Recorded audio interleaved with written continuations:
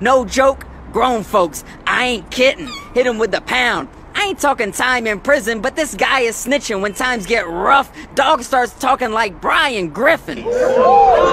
Being caddy, huh? That's your plan of attack? Wait, let's look at your man in the back. How you dissing me when your man's is an actual rat? I ain't no rat. I ain't no rat. Word to mother.